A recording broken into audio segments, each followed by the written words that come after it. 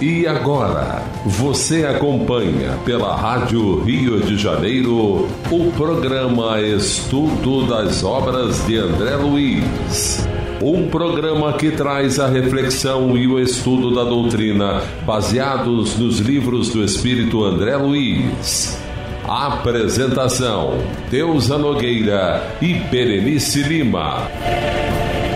Iniciando mais um programa onde uh, é, André Luiz, Neves, essa equipe toda, né, o próprio Neves é, assim, se desnudando para nós, né, porque embora ele seja um espírito já desencarnado, ele está e que trabalha na colônia Nosso Lar, ele está em sofrimento por questões materialistas.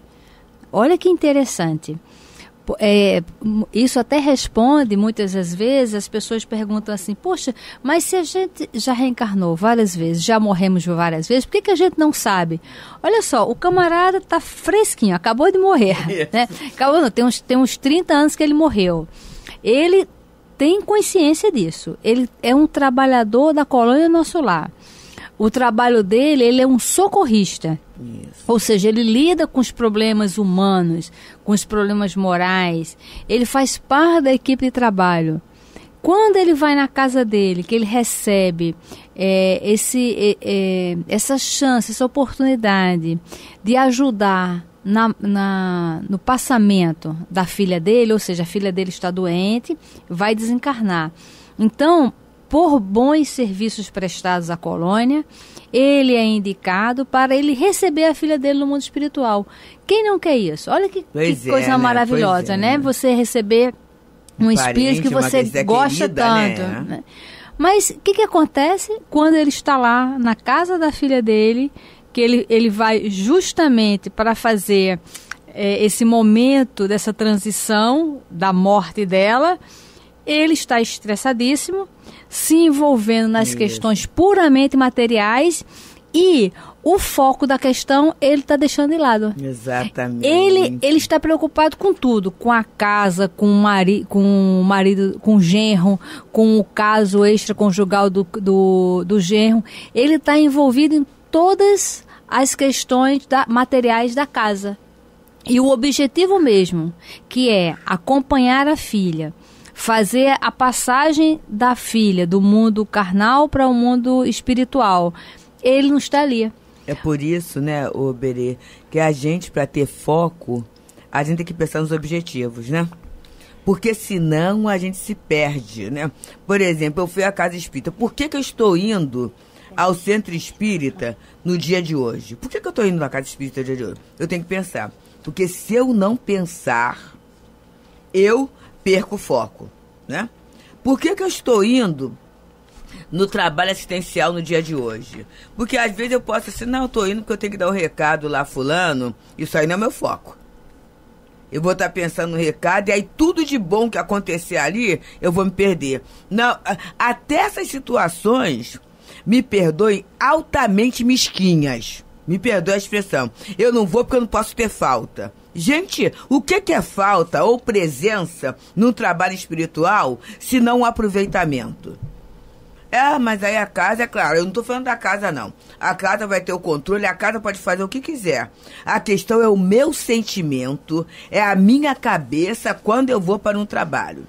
Porque se eu for só para não levar falta, qual é a minha. E depois ficar fora da tarefa, da, da mediúnica, qual será a minha movimentação na tarefa naquele dia? Eu vou estar doida para acabar para quando acabar eu sair correndo e cuidar da minha vida. Quer dizer, que não vai fazer parte da minha vida. Então, gente, no final eu vou levar o quê? Eu vou levar um caderninho de presenças? Ou eu vou levar o aproveitamento que eu tive em cada sessão que eu participei? Então a gente tem que eh, pensar muito, né? Eu acho que é, em termos, acho não, com certeza, em termos de humanidade a gente não é mais criancinha. Exatamente. É? E olha que a oportunidade que ele está tendo é uma oportunidade assim única. E ele não está valorizando a, a oportunidade, porque ele está deixando a filha dele lá para se preocupar com outras, outras coisas, né? Então André Luiz continua falando. Os três a sós tornamos a conversação. Félix, sorrindo, afagou de leve os ombros do meu companheiro e ponderou. Entendo, Neves, entendo você.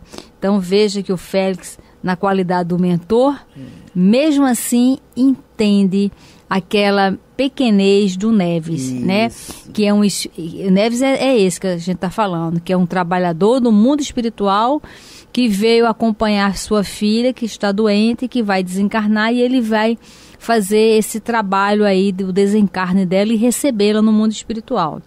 Então ele está perdendo essa oportunidade porque ele chegou em casa e está preocupado só com as Isso. questões é, materiais. materiais né? Então ele continua falando. Encorajado pela inflexão de carinho com que semelhantes palavras eram ditas, o sogro de Demésio desafogou-se. Quem entende menos sou eu. Não admito tanto resguardo para um cachorro de má qualidade.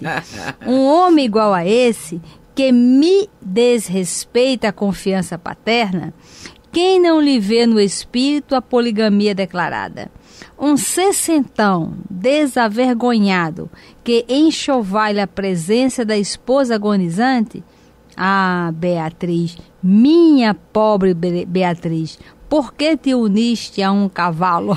Olha só, isso é bom, né? Porque quem são os espíritos? Está lá no livro dos médios, as almas dos homens. Então, o comportamento dele, vamos colocar assim, seria um comportamento comum a qualquer pessoa que tá vendo a vida material, ah, traidor, né? E aí essas expressões mesmo, ah, cachorro, ó como é que você é e tudo. É essa posição. Então olha só, meus amigos, como é que a gente às vezes, até no trabalho espiritual, na tarefa espiritual, a gente assume posições puramente materiais. É por isso que eu vi, eu ouvi muitas vezes, né, de Dr. Herman, um dos diretores espirituais lá da, da nossa casa, através do altivo, falar assim: muda a cabeça, minha filha. E aí eu fui entendendo o que que era, né? E era o quê? Quando muitas vezes eu ia fazer reclamações por posições materiais, quando eu falo muda a cabeça e se olha como espírito. É. Se olha como trabalhadora é, é, espiritual, se olha como médio, né? É. Porque se a gente não mudar a cabeça, a nossa posição será essa. É. E é, a gente estava até conversando, né, no intervalo aqui do programa, que muitas casas espíritas, muitos de nós, estamos embora com todo o conhecimento, estamos vivendo é, assim uma questão da materialidade muito grande. Exato. E muitas das vezes transformando a casa espírita numa instituição é, qualquer. Né? Que aí eu tenho que pensar assim, né? E isso é uma coisa muito interessante. É, a casa espírita existe por causa da doutrina espírita ou é o contrário? Ou a doutrina espírita existe para que a casa espírita se forme? Olha só. Vamos observar que Kardec, em princípio, foi sozinho, né? Fazendo lá a tarefa, sozinho, que eu digo assim, sem ter a situação institucionalizada com o tempo, né? Lá no dia 1 de abril, foi formalizado o primeiro centro espírita, que era a Sociedade Parisiense de Estudos Espíritas, que temos até no livro dos médiuns todo o o estatuto de funcionamento e tudo. Foi a formalização. Mas primeiro vem a doutrina e o grande objetivo da casa espírita é veicular a doutrina espírita. Ela existe em função da doutrina espírita. E aí, é, continua, né, André Luiz assim. Dementara-se Neves diante de nós retrocedera mentalmente ao círculo acanhado da família humana e chorava transtornado, sem que lhe pudéssemos cercear a emoção. Faço força, gemia acabrunhado, mas não aguento. De que me vale trabalhar odiando? Nemés é um mascarado. Tenho estudado a ciência de perdoar e servir. Tenho aconselhado serviço e perdão aos outros, mas agora divididos por simples parede, vejo o sofrimento e o vício debaixo do mesmo teto. De um lado, minha filha conformada, aguardando a morte. De outro, meu genro e essa mulher que me insulta a família. Deus do céu, que me foi reservado? Andarei auxiliando uma filha doente ou sendo chamada à tolerância? Mas como suportar um homem desses? Não adiantou um aceno à prudência na pausa curta. Antigamente, continuou Neves desesperado, acreditava que o inferno depois da morte fosse pular em vão num cárcere de fogo. Hoje eu aprendo que o inferno é voltar à terra, à terra e estar com os parentes que já deixamos. Isso é a purgação dos nossos pecados. Félix aproximou-se e ponderou, segurando-lhe afetuosamente as mãos. Calma, Neves. Sempre surge para todos nós o dia de provar aquilo que somos naquilo que ensinamos. Além disso, Nemésio deve ser entendido. E aí eu vou parar um pouquinho aqui, vamos parar um pouquinho aqui, para colocar assim, né? Sempre surge para nós o dia de provar aquilo que somos naquilo que ensinamos. Porque a gente, né, Berenice, vai, fala da doutrina. Com certeza, com certeza, amigos, a doutrina faz sentido nas nossas mentes, não há dúvida. Com certeza, o nosso sentimento, a gente quer ser melhor. Isso está tudo num plano. Mas vão acontecer coisas e acontecem coisas que são desafios ao nosso comportamento. E nessa hora a gente tem que estar muito atenta, né? Porque é a prova que o aluno tem. É a prova que o aluno tem, né? É para provar se ele aprendeu mesmo. E aí, é, continua, né? É, a, o, o, o, o Félix falando, né? E segura afetuosamente as mãos, né? E fala assim, calma, Neves, né? Sempre surge para nós o dia de provar aquilo que somos naquilo que ensinamos. Além disso, Nemésio deve ser entendido. E aí é a hora em que o Neves explode. Entendido? Não chegará a ter visto? E falou quase irônico para Neves, foi o mentor, hein? Sabe o senhor qual é o rapaz que vem ocupando o pensamento dessa moça? Sei, Neves mas deixa-me explicar. Principiemos por aceitar Nemésio na posição em que se encontra. Como exigir da criança experiência da madureza ou pedir raciocínio certo ao alienado mental?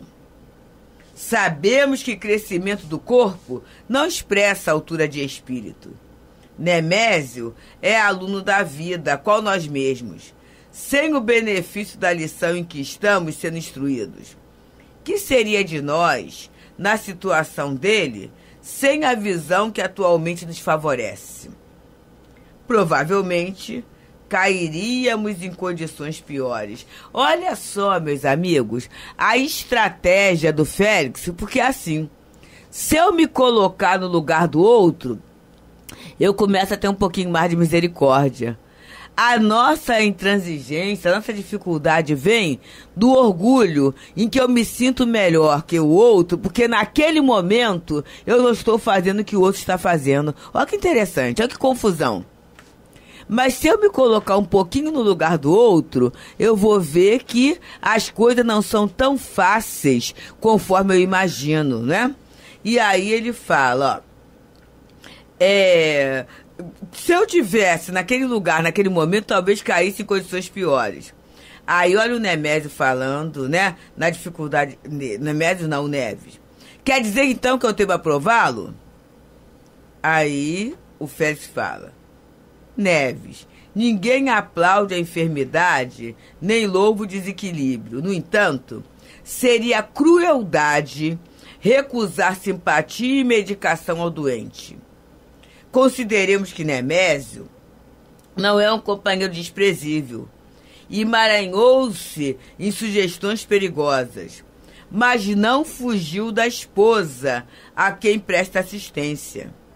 Mostra-se engodado por extravagâncias emotivas de caráter deprimente que lhe dilapidam as forças. Contudo, não esqueceu a solidariedade, resolvendo fornecer casa própria e gratuita à senhora que lhe presta serviço remunerado.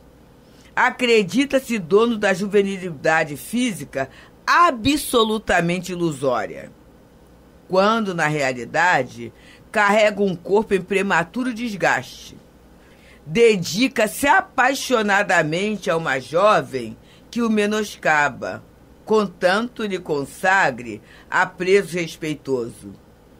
Não bastariam essas razões para merecer benevolência e carinho? Quem de nós com a possibilidade de auxiliar? Ele que anda cego ou nós que discernimos? Não posso enaltecer-lhe as manobras lamentáveis na esfera do sentimento. Entretanto, sou obrigado a confessar que ele, na ficha de analfabeto das verdades da alma, ainda não tombou de tudo. E aí ele fala: Neves, Neves. A, a sublimação progressiva do sexo em cada um de nós é fornalha candente, cadente de sacrifícios continuados. Não nos cabe condenar alguém por faltas em que talvez possamos incidir, ou nas quais tenhamos sido passíveis de culpa em outras ocasiões. Compreendamos para que sejamos compreendidos. Neves então silenciou. De certo, controlado pela influência do amigo venerável. E quando consegui fitá-lo, depois de alguns momentos de expectativa, percebi que ele se pusera humildemente em oração. Então é interessante, não é? Que quando a gente é chamado a se colocar no lugar do outro, e vamos ver como é que é Félix, que aumentou, chamou. Primeiro, né? Ele tratou Neves com extremo carinho porque quase sempre, quando eu surpreendo o outro, ou num erro, ou fazendo alguma coisa complicada, né? O que que eu faço? Eu acabo assim não tendo o carinho, a consideração, o respeito, né? Eu entro como alguém acusatório. Eu entro numa peça acusatória, né? E é uma situação muito séria. Então, qual é o cuidado que a gente tem que ter quando percebe alguém em dificuldade, chegar junto. Vamos perceber que Neves não só falou com carinho, mas pegou a mão. É, é, Félix pegou a mão de Neves. E esse, esse fato da gente ter um contato próximo com outro é muito bom, né? É muito bom. Uma palavrinha, um copo d'água, um sorriso nos aproxima. Quer dizer, Neves, mesmo sendo um mentor, ele não se colocou em posição superior àquele companheiro que estava em dificuldade. Isso é algo para a gente pensar.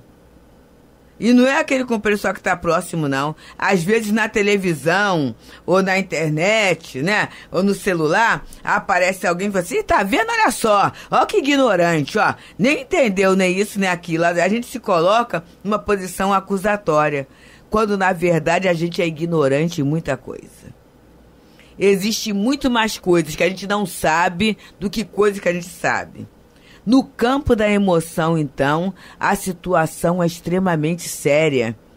Então ele, ele coloca, ele fala com o Neves com carinho, ele dá as mãos à Neves. Quando ele dá as mãos, né? Esse ato de dar as mãos é o ato de companheirismo, né? Vamos observar Jesus? Jesus costumava dar as mãos àquelas pessoas que ele curava, né? Dar as mãos para ajudar a levantar. Ué, mas o fulano já não tá bom? Não pode levantar por si mesmo? Pode. Mas o ato de dar a mão aproxima o outro, né? Dar a mão, abraçar, estar junto. E aí ele vem fazendo um arrazoado de todas as condições de Neves. Olha só. Neves ele, né? Ele, é, mesmo sendo do jeito que ele é, ele oferece à esposa, naquele momento da doença, toda a assistência possível. Ah, mas isso aí não é obrigação? Não, tem gente que abandona o doente, né? Ele que abandona o doente. É, se os companheiros não sabem, né? Mas muitos devem saber, tem gente que é, interna o paciente lá no hospital e aí deixa lá Aí ele fala assim, ué, mas o hospital pode procurar? E aí os companheiros falam assim, procurar como? Se dá o um endereço errado. Dá endereço errado, meus amigos. Observa o nível de indiferença. Eu coloco o ente querido no hospital e dou o endereço errado, por quê? Porque eu não quero ele de volta. Acontece, tem gente que faz isso. E o Neves, naquele momento, ele está oferecendo até dentro de casa uma assistência àquela companheira que está doente, que ele sabe que é terminal. Mas ele está oferecendo um conforto a ela. Ele chega e ainda conversa com ela, né? Ele conversa com ela. Ela tem uma preocupação da empregada que a casa não tem uma casa decente e ele promete aquela empregada, mesmo ganhando dinheiro, ele promete à esposa que assim que ele, que ele vai providenciar logo uma casa digna em que ela poderá morar. Olha que coisa interessante, isso é, isso é um, um mérito, né? Porque ele já pagava o salário, mas ele promete uma casa digna para aquela, aquela criatura, né? Ele está com o corpo totalmente estragado, né? Totalmente é, é, é, é, comprometido, né? Mas mesmo assim ele acha, né? Que não. Então isso é uma perda grande. Ele se apaixona por uma mulher que na verdade está usando, mas não gosta dele. Então aqui Félix está apresentando o o companheiro, né, o Nemésio, na posição da indigência dele. E qualquer um, Oberê, que esteja numa indigência é. material ou moral, ele não é digno de apoio, de prece, de carinho? Exatamente, porque no fundo, no fundo é um, do, um doente. Né? Todos nós já estamos numa faixa de doença. Né? Então, que a gente também tenha esse olhar, mas que principalmente a gente tenha um olhar é, com a gente mesmo, para que a gente não seja este personagem. Isso. Porque a gente julga tanto, né, quando a gente vê essas, essas questões assim similares a, a, do que acontece com ele, mas que a gente não tenha essa postura. Nessa reencarnação, que, que a gente aprenda também para as próximas. Isso. Né? Que é a postura da compaixão, né? Exatamente. Que é, é alguma coisa que às vezes falta muito, né? Uhum. Eu sou muito rápida para o julgamento. Mas se eu me colocasse no lugar é. do outro, né? É então, essa questão que Jesus falou assim: fazia o outro que queirais que vos façam, né? Tende misericórdia com o outro, né? Assim como o pai teve misericórdia para contigo. A gente, às vezes, né, Berenice, a gente nem avalia o quanto, eu não vou nem falar os guiões, não, os guias maiores, uhum. não, mas o nosso espírito protetor, é gente, é verdade. o meu então foi assim, coitadinho dessa criatura, porque o que ele tem de paciência comigo, né, gente? O que ele deve falar assim, de novo. De novo nessa, né? Gerar possível, porque a gente é repetitivo. É. A gente é repetitivo em determinadas situações, até a gente aprender. Uhum. E até haver uma grande dor em relação aos nossos estragos, aos nossos males, a é gente custa mudar, a gente é resistente à mudança. É, e somos muito exigentes com a mudança do outro, né? Isso. Eu acho que o caso Ótimo. do Neves aqui ó, mostra muito pra gente sobre o conhecimento e a consciência Isso. da doutrina espírita, né? Imagina, o cara tá desencarnado e tá sofrendo como se tivesse encarnado. É. Né? E por questões materiais, é. né? É, e, e, ele poderia, ele, até, ele nem está pensando na possibilidade do próprio Ter sido um filho querido dele do passado. Isso. É? E se fosse meu filhinho, né? Exatamente. O que eu faria, né? É. Será que eu entraria logo com a, com, a, com a sentença acusatória ou eu trabalharia um pouco sabendo que ele vai mudar? Mesmo sofrendo, é. ele vai mudar, né? Ele, embora está desencarnado, o, ele está vendo a filha dele ainda com o, o, o meu na frente, Exato, né? É com, corpo, né? Exatamente, com o, o pronome possessivo. É Isso. É minha filha. Né? Ele não está vendo ela como um espírito Isso. e não está vendo também que não existe vítima inocente. Exato. Né? Se ela está nessa situação, também tem um porquê. Tem um passado. Tem, tem uma situação. Ela, depois ele até vai ver que ela também não é essa coisa tão maravilhosa do, como ela ele está se, é, como está se apresentando aqui. Né? Então que a gente possa pensar, né, na, é, é, nesse dia, que seja um dia de misericórdia, de compreensão, né? que a gente peça força para silenciar qualquer acusação que a gente esteja fazendo contra alguém ou alguma coisa. Muita paz. Muita paz. A Rádio Rio de Janeiro apresentou o programa Estudo das Obras de André Luiz.